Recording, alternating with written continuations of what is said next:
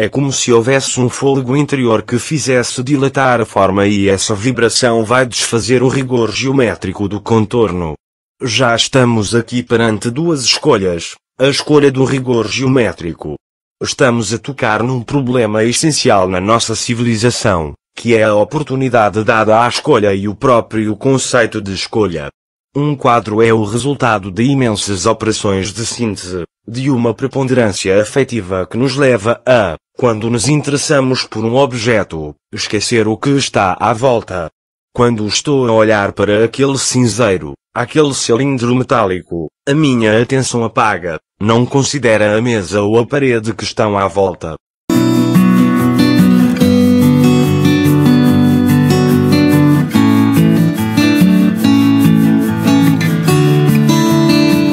Júlio Arthur da Silva Pomar, nasceu em Lisboa a 10 de janeiro de 1926.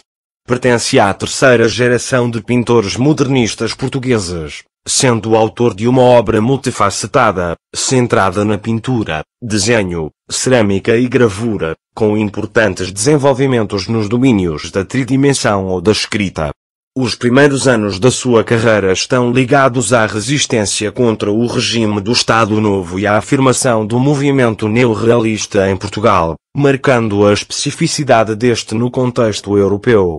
Teve uma ação artística e cívica intensa ao longo das décadas de 1940 e 1950 e é consensualmente considerado o mais destacado dos escultores de neorrealismo nacional começa a distanciar-se do ativismo político e do idioma figurativo inicial na segunda metade da década de 1950 e, em 1963, radica-se em Paris. Sem nunca abandonar o pendor figurativo, liberta-se do compromisso neorrealista, enverdando pela exploração de práticas pitóricas diversas que o centrarão na pintura enquanto tal, interrogando as suas formas, composições e processos, pintando das mais variadas maneiras na exploração ou na recusa das possibilidades que o seu tempo lhe abriu.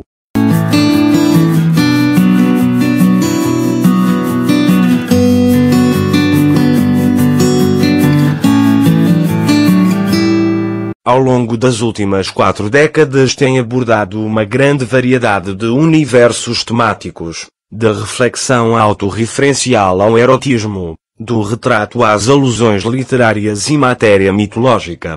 E do ponto de vista formal encontramos idêntica riqueza de meios e soluções. A obra de Júlio Pomar constrói sucessivas cadeiras de relações formais e semânticas entre os diferentes materiais, processos e técnicas. Quando se dá a Revolução de Abril de 1974, Pomar encontra-se em Lisboa, onde permanece durante vários meses.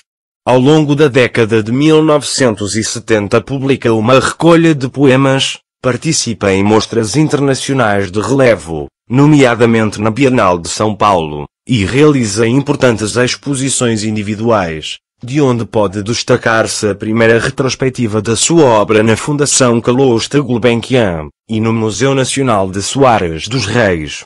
Pomar tem-se dedicado especialmente ao desenho e pintura, mas a sua área de ação estende-se à gravura, escultura, ilustração, cerâmica, tapeçaria, cenografia para teatro, decoração mural em azulejo, de onde podem destacar-se os painéis para a estação de Alto dos Moinhos no Metropolitano de Lisboa. Em 2013 inaugurou o Atelier Museu Júlio Pomar, num edifício adquirido no ano 2000 pelo município de Lisboa e remodelado segundo um projeto do arquiteto Álvaro Cisa Vieira. O Atelier Museu possui um acervo de várias centenas de obras, doadas pelo artista à Fundação Júlio Pomar e que inclui pintura, escultura, desenho,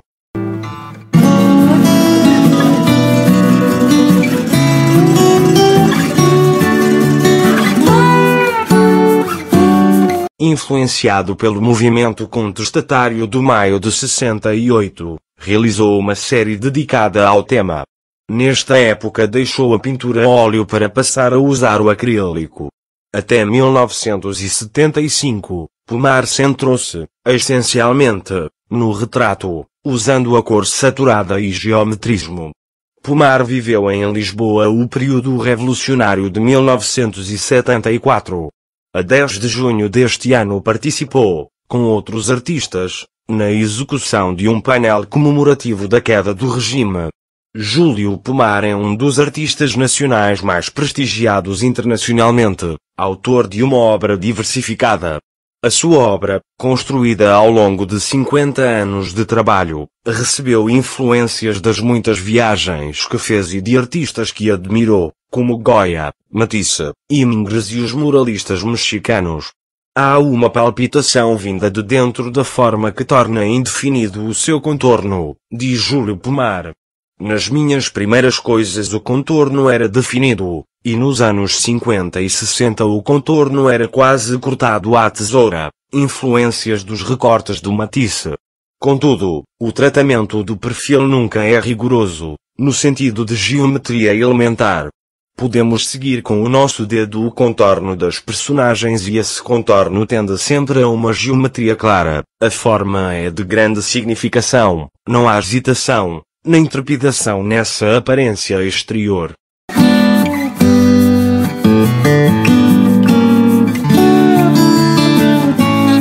Mas a pintura prescindo das palavras e aproxima-se da realidade. Muitas pessoas acham esta coisa muito esquisita. Mas, no fundo, se há coisa que caracteriza a realidade é a sua capacidade de escapar aos nossos olhos e aos nossos sentidos. Se fossemos capazes de tocar a realidade na sua globalidade, adivinhávamos o futuro ou não nos enganávamos no presente. Paro quando deixo de encontrar matéria que seja transformável. Até encontrar matéria com a qual sinta uma afinidade e sinta necessidade de absorver, de a transformar e de me transformar. Isso é que faz o contacto e a vida em comum com o quadro, o desenho e o livro. Quando acaba essa possibilidade de, a partir do que aqui está, supostamente aprofundar ou seguir para outra descoberta, quando a coisa se fecha como uma obra alheia, já não lhe posso tocar. Já não vamos emendar um livro ou um quadro alheio.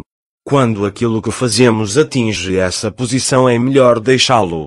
A vida só vale a pena viver-se quando se vão encontrando essas revelações, que nos abram ou ajudem a manter os olhos abertos.